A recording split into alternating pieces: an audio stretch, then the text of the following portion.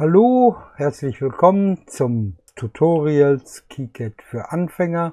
Wir gehen wieder in unserem PCB-Editor und äh, sehen jetzt hier den letzten Stand, den wir hatten, als wir beendet haben. Und heute soll es darum gehen, wie ich mir hier meine eigenen Logos erstellen kann. Ich hatte ja gesagt, dass ich mir persönlich auch einige Logos erstellt habe.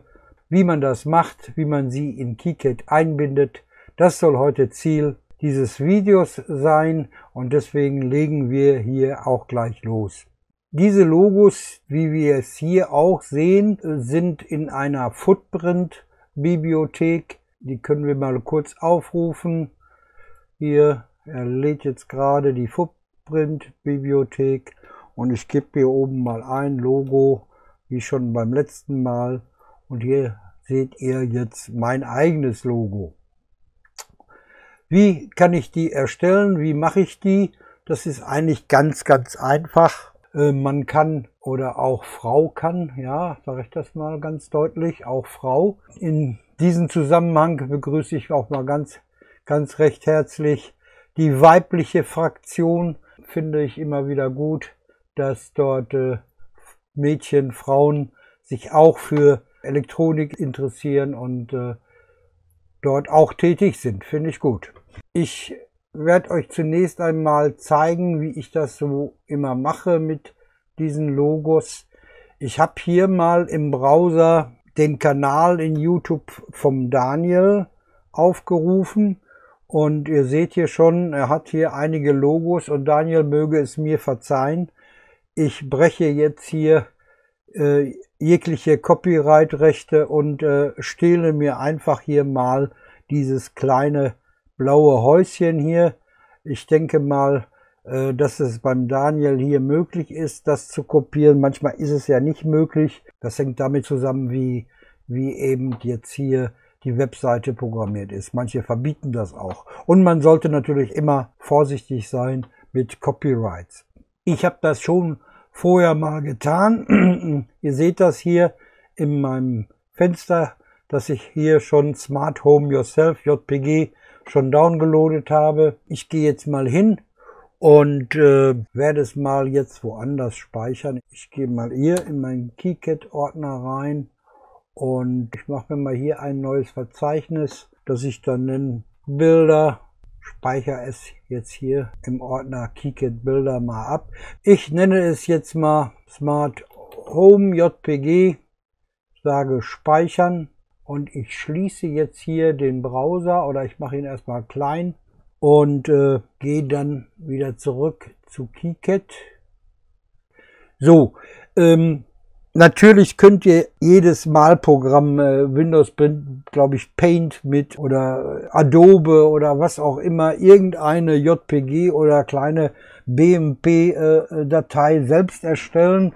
Ähm, sie sollte äh, nur nicht hochauflösend sein oder besonders groß sein. Es reicht völlig aus, wenn ihr da so ein kleines Bild äh, erstellt in eurem Malprogramm. Ich habe mir jetzt hier einfach von YouTube mal Daniels Logo dort downgeloadet, geklaut auf Deutsch gesagt.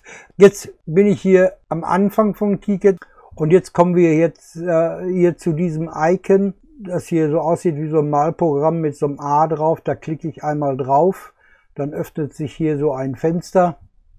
Und hier kann ich jetzt äh, mein soeben downgeloadetes Bild einladen. KiCad unterstützt standardmäßig diese hier unten aufgeführten Dateiformate äh, BMP, PNG, JPG und TIFF-Dateien und welche auch immer. Das kann man hier jetzt sehen. Und jetzt gehe ich mal hier in den Ordner, den ich gerade angelegt habe. Das war ja KiCad und dann hier Bilder und dort ist mein Bild und ich öffne das mal und ich sehe es jetzt hier in der Originaldatei. Wir haben hier oben drei Reiter, einmal Originaldatei, Grauwertbild und Schwarz-Weiß. Ich habe jetzt hier das Häuschen und ich gehe jetzt mal hier in den Schwarz-Weiß-Bereich, denn äh, diese Logos sind nach Möglichkeit in Schwarz-Weiß zu erstellen. Und äh, ich sehe jetzt hier oben rechts die Größe in Pixel und die Größe in Millimeter. Die Bilder, die ich auf der Platine oder die Logos, die ich auf der Platine platziere, sollten nach Möglichkeit nicht äh, zu groß sein. Also 24,4 mal 24,4, das ist schon ziemlich groß, ja. Das sind immerhin äh, 2,4 Zentimeter und äh, Platinen werden hauptsächlich ja sehr, sehr klein hergestellt oder produziert. Äh, deswegen gehe ich jetzt hier mal hin.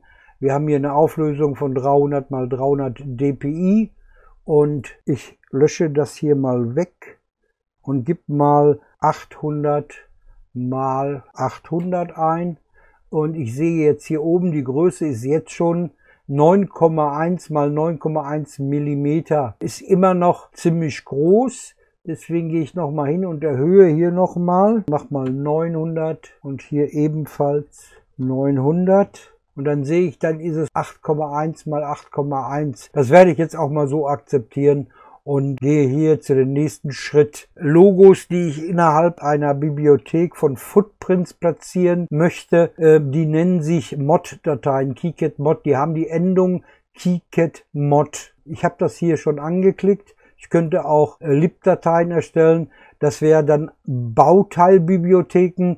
Ähm, davon rate ich ab, hier über ein Bild oder über eine Grafik ein Bauteil zu erstellen.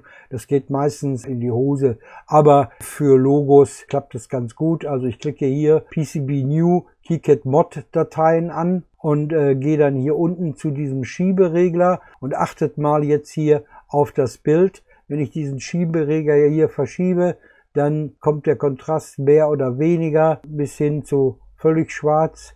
Aber ich lasse das meistens immer hier auf die Mitte. So, so ist das ganz toll. Da werden hier die Linien auch ganz gut dargestellt. Hier diese Heizung, die der Daniel hier andeutet oder die Steckdose werden dann gut dargestellt. Ähm, jetzt gehe ich einfach hin und äh, klicke einmal hier auf Exportieren und ich habe hier schon ein, einen Ordner, ähm, den ich da genannt habe, mein Unterstrich Logo.pretty. Ihr habt ja bei euch äh, einen Ordner angelegt unterhalb von KiCad, der da heißt lib und in diesem Ordner legt ihr euch noch einen anderen Ordner ein, den ihr da nennt mein Logo.pretty. Und der muss .pretty auch heißen. Wenn ihr das dann angelegt habt, könnt ihr hier oben jetzt einen Namen vergeben. Und der Namen, den ihr vergebt, der muss immer Dateiname.keycat-mod sein. Der darf keine andere Endung haben, kein JPG oder BMP oder was, sondern die Endung keycat-mod. Ich nenne das jetzt mal äh, tutorial.keycat.mod. Also wie gesagt, wichtig ist hier, dass auch der Dateiname immer die Endung .keycat, oh, hier habe ich mich vertan, unterstrich mod ist. Ja, das ist wichtig, dass die Endung keycat unterstrich mod ist, sonst funktioniert das nicht. Ihr seht auch hier unten, dass er eigentlich schon die Endung automatisch vergibt, so dass ich mir das hier oben auch eigentlich sparen kann. Äh, ich lösche das nochmal weg, aber äh, beim Speichern wird automatisch hier keycat unterstrich mod angelegt. Ich speichere mir das mal und äh, kontrolliere das nochmal. Jawohl, hat er gemacht. Hier Totoria, oder fällt das L am Ende, aber ist jetzt auch nicht weiter schlimm. Aber er hat automatisch die Endung .keycat-mod. Das ist wichtig. So, wenn ich das gemacht habe, bin ich hier eigentlich schon fertig. Wer hier gerne noch mit der äh, Größe spielen will, äh, kleiner oder größer, ändert einfach hier die Auflösung. Äh, wenn die Auflösung höher wird, wird natürlich die Größe des Bildes in horizontaler und vertikaler Form kleiner. Das mal so am Rande. Dann kann ich das auch hier gleich schließen. Und äh, bei euch müsst ihr jetzt Folgendes machen. Ihr geht also ähm, wieder zurück. Ich habe das hier schon offen in euren äh, PCB-Editor, in PCB New, so heißt er ja, und äh, macht jetzt mal Folgendes. Geht hier oben mal auf Einstellungen und hier habt ihr dann Pfade konfigurieren. Und ähm, hier seht ihr die Pfade, äh, die KiCad benutzt, äh, wo er seine Bauteilbibliotheken hier findet für unseren Schaltplan-Editor in die Libraries. Die findet ihr hier bei mir natürlich, weil ich Unix, also ein Linux-Betriebssystem habe, äh, in User Share KiCad Library. Bei euch ist es natürlich unter Windows dann ein anderes Verzeichnis. Das könnt ihr ja im Datei Explorer da mal nachvollziehen. So, jetzt gehe ich mal hier hin und sage mal Footprints, Footprint Bibliotheken, öffne das und muss natürlich jetzt hier KiCad mitteilen, wo er denn meine selbst erstellten Logos finden kann. Ihr geht einfach hier auf das Pluszeichen, vergebt dann einen Namen, was weiß ich, meine Logos oder meine selbst erstellten Logos oder so. Ihr könnt hier einfach sagen, meine unterstrich eigenen unterstrich Logos und klickt dann hier rein und äh, navigiert dann hier über dieses kleine äh, Ordnersymbol, wo ihr die Sachen abgelegt habt, klickt dann auf OK und er trägt es dann auch hier ein. Ich mache das jetzt mal hier nicht, deswegen lösche ich den Eintrag hier wieder und lasse nur den, der auch aktuell und richtig ist, drin. Breche das hier ab. Ihr müsst natürlich auf OK klicken. Wenn ihr das gemacht habt, geht ihr hier auf dieses Icon Footprint hinzufügen. Ihr müsst euch natürlich in der richtigen Lage befinden. Ich will das jetzt hier auf die Vorderseite platzieren, also F-Silks sehe ich an dem Dreieck. Ich befinde mich in F-Silks und klicke dann einmal hier hin. Eröffnet die Footprint-Bibliothek. Ich sage jetzt hier mal Logo und guck mal eben nach. Ja, hier ist es, da ist das. Ich hatte das ja Tutorial ohne L genannt, weil ich das L vergessen habe. Aber ihr seht, der Footprint, also das Logo ist jetzt hier drin. Ich sage einmal OK, habe das dann hier an meinem Mauszeiger dran und kann es jetzt hier positionieren. Ich möchte es gerne hier auf der Frontseite, weil ich befinde mich ja auch hier im Front Silks platzieren und äh, kann mir das jetzt hier im 3D-Betrachter ansehen und siehe da, voilà. Und hier ist dann dieses tolle Logo auf meiner Platine. Jeder von euch wird in der Lage sein, da in irgendeinem äh, Malprogramm irgendeine kleine Grafik für, für sich zu erstellen. Äh, Im schlimmsten Fall nutzt man unter Windows eben Paint. Tobt euch da in euer Malprogramm aus, achtet nur darauf, ähm, das Ganze von vornherein in äh, Schwarz-Weiß äh, zu zeichnen, also keine Farben zu benutzen, denn äh, wenn der Hersteller das hinterher produzieren soll, dann äh, habt ihr sowieso nur die Möglichkeit, die Aufdrucke oder die Schriften hier in äh, weiß oder in beschränkten Farben herzustellen. Ne? Also es macht keinen Sinn, da ein Logo zu erstellen, das äh, sechs Millionen Farben hat, aber der Hersteller kann nur eben schwarz, weiß und ich weiß gar nicht, Graustufen noch vielleicht, äh, aber auch nicht mehr. Deswegen, wenn ihr zeichnet, macht es gleich von vornherein in schwarz-weiß und ich habe euch jetzt mal gezeigt, wie das denn äh, so geht, wie man das da platziert. Solltet ihr beim Aufruf hier von den Footprint-Bibliotheken das hier unter euren Ordner MyLogo oder so nicht finden, liegt es immer daran, dass ihr hier oben in äh, Einstellungen Verwalten von Footprints hier in diese äh, Liste hier den Pfad noch nicht Kiket äh, bekannt gegeben habt. Ja, also der Pfad, der hier steht, der muss schon stimmen. Da darf nichts anderes stehen. Und wie gesagt, äh, der Ordner sollte nach Möglichkeit, äh, wo sich das Bild drin befindet, mein Unterstrich Logo oder Punkt muss die Endung Punkt Pretty haben. Ja, äh, das äh, setzt Kikit einfach voraus. Ja, wenn da Schwierigkeiten sind äh, oder Fragen sind, Schreibt's in die Kommentare, Daniel wird's lesen und äh, wird's dann mit, mit, Sicherheit an mir weiterleiten und äh, dann können wir dann noch im expliziten Video darauf eingehen, auf eure Fragen. Ich bitte euch deswegen auch äh, regelmäßig und äh, oft davon Gebrauch zu machen, äh, in den Kommentaren dann Fragen zu stellen, beziehungsweise was ihr nicht verstanden habt, dort nochmal aufzuführen. Ja, dann äh, gehen wir mal zu dem nächsten Schritt hin. Das Erstellen dieser Platine äh, diente eigentlich nur den Zweck, um euch mal den Einstieg in KiCad so ein bisschen zu erleichtern. Ihr habt noch nicht alle Menüs kennengelernt, wenn wir ja unser eigentliches Projekt angehen werden, nämlich die Erstellung eines kleinen Arduino Unos. Da äh, werdet ihr weitere Features, weitere Sachen kennenlernen hier in KiCad und äh, dann äh, werdet ihr auch in der Lage sein äh, zu verstehen, was die Profis da immer machen mit äh, Designregeln und mit äh, Zusatzprogrammen zu KiCad.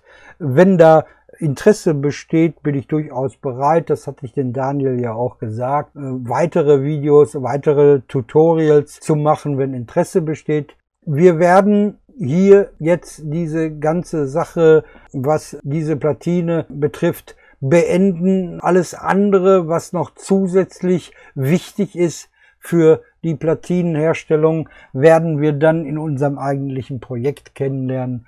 Eins noch vielleicht so zur Optik.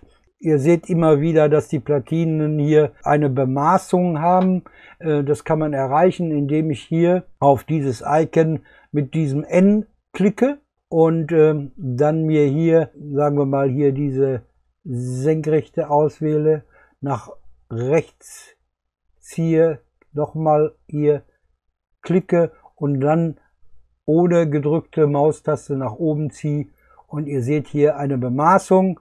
Das gleiche gilt dann auch hier für die Höhe der Platine. Ich klicke hier, äh, ziehe mir das bis hier oben hin, klicke nochmal und ziehe es dann mir einmal nach außen und ihr seht, ich habe jetzt hier meine Bemaßung drin, ähm, weil ich muss diese Maße natürlich äh, beim Hersteller äh, meines Vertrauens angeben, wie groß die Platine ist. Äh, danach berechnet sich ja natürlich auch der Preis. Ich persönlich äh, lasse meine Platinen bei GLC PCB in China herstellen. Ähm, die sind sehr, sehr günstig. Die äh, übertreffen jeden anderen deutschen Hersteller. Wir werden das gleich auch nochmal sehen, wenn wir ähm, dann jetzt gleich die Platine mal fertig machen und äh, dann zum Hersteller schicken. Da werdet ihr merken, dass der sehr günstig ist äh, und äh, kein deutscher Hersteller, euer europäischer Hersteller kann mit diesen Preisen mithalten. Der einzige Nachteil, den man bei den Chinesen vielleicht hat, ist, äh, äh dass die Lieferzeit ein bisschen länger ist. Aber wenn man bereit ist, äh, ein höheres Porto zu bezahlen, geht es auch bei GLC PCB mit wenigen Tagen. Also ich sag mal eine Hausnummer zwei bis drei Tage wenn ihr bereit seid, da ein höheres Porto zu bezahlen. Aber ähm, ich habe festgestellt in der letzten Zeit, ich weiß gar nicht, woran es liegt, äh, es geht auch bei dem normalen China-Versand über die China-Post sehr, sehr schnell. Also das, das letzte Projekt habe ich innerhalb von äh, vier Tagen äh, bei mir auf dem Schreibtisch gehabt. Aber ich weiß nicht, woran es liegt. Aber ihr habt ja da sicherlich auch Erfahrungen, wie lange so eine Lieferung aus China manchmal dauert. Aber gut, dadurch ist der Preis aber auch sehr, sehr niedrig und äh, das nehme ich gerne dann in Kauf, wenn ich da etwas länger warten muss. So, wir äh, werden jetzt ganz einfach mal die Dateien erstellen, die wir dann im Endeffekt zum Hersteller schicken, äh, damit die Platine dann auch, ja, wie gesagt, hergestellt werden kann. Zuerst äh, seid mal äh, gewiss, dass ihr das ganze Projekt auch gespeichert habt. dazu klickt ihr hier oben links in die Ecke auf diese Festplatte hier oben mit dem Pfeil und speichert das ganze Projekt. Dann äh, geht ihr äh, mal in den Schaltplaneditor, speichert diesen auch mal und könnt dann jetzt hier die Dateien erstellen, die der Hersteller benötigt. Und das werden wir jetzt mal tun.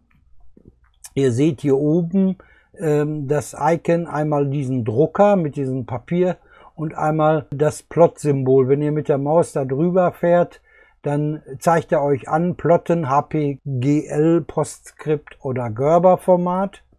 Und äh, die meisten Platinenhersteller, also ich kenne keinen keinen einzigen, der das nicht akzeptiert, akzeptiert die sogenannten Gerber-Files.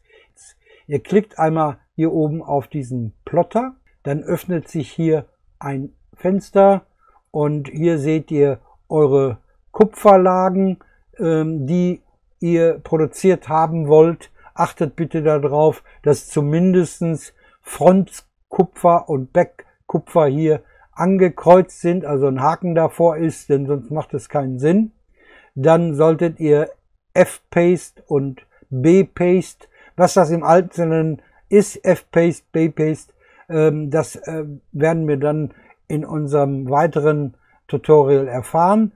Äh, Front Silks und Back Silks habt ihr schon kennengelernt. Das ist die Beschriftung, die wir gemacht haben, beziehungsweise die Logos. Dann natürlich ganz wichtig, der Hersteller muss wissen, äh, wie groß ist die Platine, welche Platinenumrisse, wo ist die Platine zu Ende. Äh, Edge Cut, ganz wichtig. Und äh, alles andere, ja, könnte man ankreuzen, muss man aber nicht. Äh, ich lasse das immer so in den Standardwerten, die Kikit hier vorgibt und habe noch keine Probleme damit gehabt. Achtet darauf, dass hier oben Gerber ausgewählt ist, ja, äh, und nichts anderes, sondern Gerber. Und hier in diesem Feld Ausgabeverzeichnis, da müsst ihr jetzt den Ordner anwählen, den wir ganz am Anfang erstellt haben unter KeyCat, den wir genannt haben Gerber. Da hinein müsst ihr jetzt reinwechseln. Ähm, bei mir hier ist das nicht so. Ich habe hier die Verzeichnisse nicht. Ich habe die auf einem Netzlaufwerk. Ihr müsst dann einfach hier euer Gerber-Verzeichnis auswählen und dann auf Öffnen klicken. Ich mache das jetzt hier nicht. Ich gehe mal hier ein zurück und äh, leg mir mal spaßeshalber hier mal einen Ordner Gerber an, äh, hier auf der lokalen Platte und sag mal öffnen. Äh, er soll, fragt mich jetzt kurz nochmal nach, weil das Verzeichnis nicht existiert. Äh, soll ein Pfad relativ zu diesem Pfad verwendet werden? Da äh, sage ich einfach mal ja. Dann macht er hier oben die Unix oder Linux-Konversion mit Punkt, Punkt, Slash, Punkt, Punkt, Slash. Bei euch ist der Gerber-Ordner ja vorhanden, da kommt diese Meldung nicht. Jetzt geht ihr hin und erzeugt zunächst einmal die Bohr-Dateien. Das sind diese Mounting Holes, aber auch die äh, Bauteilpads hier. Das sind ja auch Löcher, wo wir dann die Bauteile durchstecken werden, wenn wir sie bestücken, die Platine. Deswegen erzeugen wir im ersten Schritt hier jetzt die Bohrdateien. Und da klicken wir ganz einfach hier unten auf den Knopf Bohrdateien erzeugen. Es öffnet sich ein Fenster.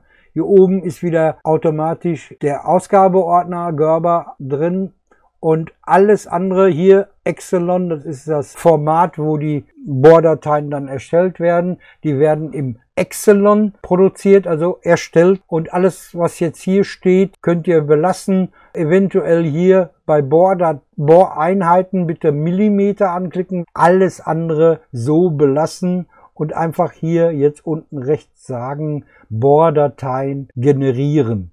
Dann schreibt er hier kurz rein, was er gemacht hat, welche Art von Bohrdateien und wie viele er erstellt hat, könnt ihr so akzeptieren.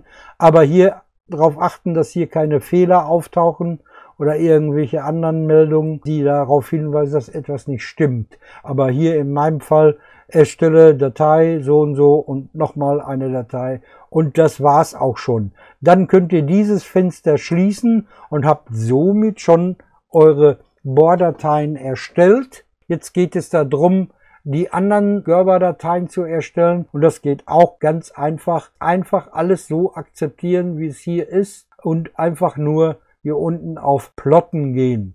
Er blitzt da kurz auf und ihr seht auch hier in diesem Fenster hier unten, es ist alles grün. Er hat alles erstellt, Frontkupferlage, Backkupferlage, all das, was hier auf der linken Seite angeklickt ist, hat er jetzt erstellt. Also keine große Kunst, kein Hexenwerk, die Herstellungsdateien da zu produzieren. Damit seid ihr hier in diesem Bereich eigentlich schon fertig.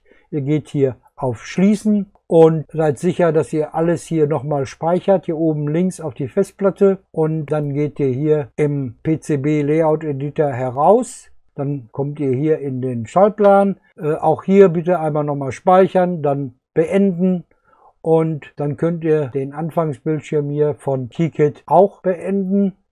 Und äh, jetzt äh, gehen wir mal hier zu einer Webseite, die ich sehr, sehr oft nutze. Die Internetseite ist garblog.org. Das seht ihr hier oben. Daniel wird diesen Link wahrscheinlich auch äh, in die Beschreibung unten reinpacken, damit ihr zu dieser Seite gelangt. Ähm, das ist eine Seite, wo ich mir jetzt äh, meine Gerber-Files, so wie sie dann auch im Endeffekt vom Hersteller produziert wird, mal eben kurz angucken kann. Das ist kein Ersatz zu dem Programm, was Kikit mitliefert. Kikit liefert einen sehr, sehr umfangreichen Gerber-Viewer, also einen Gerber-Betrachter mit. Aber ähm, wie gesagt, da möchte ich später darauf zukommen, wenn wir ähm, äh, unsere andere Platine erstellen. Ähm, hier mache ich mal Folgendes. Ich gehe zunächst einmal in meinem Ordner, wo meine Gerber-Dateien drinne sind. Ja, bei euch ist das ja auch der Ordner Gerber. Und ähm, diese Dateien, die sind jetzt hier so lose drin. Damit kann der Hersteller eigentlich nichts anfangen und äh, Gerber View im Internet, äh, der Online-Dienst, kann damit auch nichts anfangen. Deswegen gehe ich mal einmal hier hin, sage alles auswählen, klicke die rechte Maustaste und sage komprimieren und mache mir daraus ein ZIP-File. Und zwar nenne ich das ZIP-File led-pcb, so wie auch unser Projekt heißt. Ich speichere das jetzt hier in diesem Ordner, sage anlegen und habe die ganzen Files, die hier jetzt markiert sind, in dem ZIP-File hinterlegt. Das seht ihr, wenn ich das öffne, seht ihr, das ist da drin, weil zum Download äh, braucht ihr dieses ZIP-File. Ihr könnt nicht jede einzelne da zum Hersteller schicken, sondern der Hersteller verlangt, dass es äh, ein gepacktes File ist und äh, ich bitte euch und äh, achtet auch darauf, es gibt verschiedene äh, Pack- oder Komprimierprogramme, aber es sollte nach Möglichkeit ein ZIP-File sein. Wenn ihr das erstellt habt, ist es dann hier drin. Jetzt gehe ich nochmal zurück zu meiner Internetseite und ich kann hier oben sagen Gerber Files und gehe auf Browse, gehe in den Ordner, wo ich dann das ZIP-File habe und da ist es schon. Das klicke ich doppelt und habe es jetzt hier drin. So, gehen wir mal hier hin. Solder Mask, das ist äh, ein anderer Layer, den ihr bis jetzt noch nicht kennengelernt habt. Das ist einfach die Lötstopp-Maske.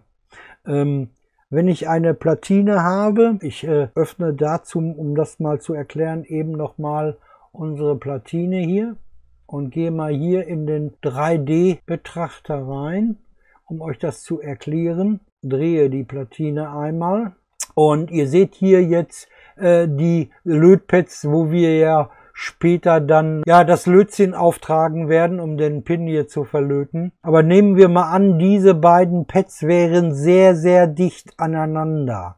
Und ihr würdet versuchen, äh, diesen Pad, diesen ersten dann zu löten, dann würde euch das Lötzinn immer hier hinlaufen zu einem zweiten Pad und würde hier eine Brücke produzieren, also einen Kurzschluss. Und ihr seht jetzt hier diese grüne Fläche hier, das ist der Layer äh, Solder Mask. Das ist so eine, eine Beschichtung, die da hier auf die Platine drauf kommt, die das dann verhindert. Dieses grün dargestellte ist der sogenannte Solder Mask. Das wollte ich jetzt hier nur mal erklären. Ich gehe mal wieder zurück zu meiner Internetseite und hier ist dieser Solder Mask in dieser Beispielplatine blau und äh, das kann ich hier auswählen. Ich lasse Platinen immer grün herstellen. Ich weiß auch nicht warum, aber man könnte auch eine blaue Platine herstellen oder eine weiße. Die sieht dann so aus.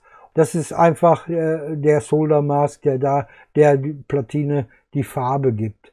Ähm, Silkscreen, habe ich ja gesagt, sind unsere Logos und äh, Schriften, die wir auf der Platine schon positioniert haben. Und äh, hier kann ich nur auswählen schwarz und weiß.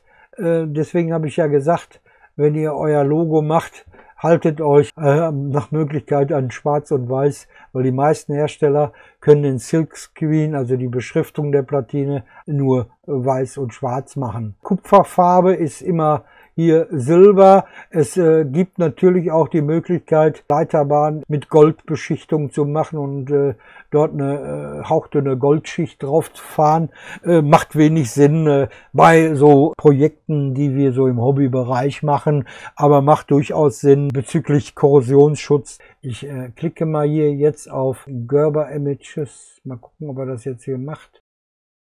Er lädt es nochmal ein und ich sehe jetzt hier meine Platine und zwar einmal in der Frontansicht, also die obere Schicht und einmal äh, kann ich hier noch die Rückseite angucken. Ich kann mir hier die Bohrdateien angucken. Das ist auch nichts anderes wie ein Gerber View, aber ein bisschen irgendwie, wenn ich die Platine sehe, kann ich schon mal sehen, ah, wie sieht die Platine aus, wenn ich sie rot produziere mit meinen Logos und äh, wenn ich dann hier äh, zurückgehe ich tu mal hier jetzt als äh, Solder Mask Color äh, grün anklicken und äh, sage dann mal, zeige mir es an. Und ihr seht hier, dass die Solder Mask jetzt hier eine grünliche Farbe hat. Die Backseite ist ebenfalls grün.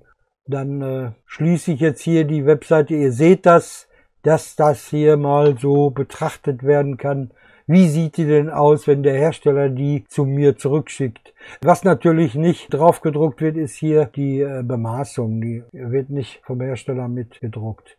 Jetzt äh, wollen wir mal äh, den Prozess der Bestellung beim Hersteller uns anschauen. Wir befinden uns jetzt hier auf der Startseite von GLC PCB, deutsch jlcpcb.com und äh, so sieht das dann hier aus. Allerdings äh, stelle ich gerade fest, äh, dass mir wieder mal die Zeit davon läuft. Deswegen äh, bitte ich euch jetzt hier an dieser Stelle um Verzeihung, aber ich breche dann jetzt hier mal das Video ab und mache dann beim nächsten Mal weiter. Und ich hoffe, ihr seid mir nicht böse.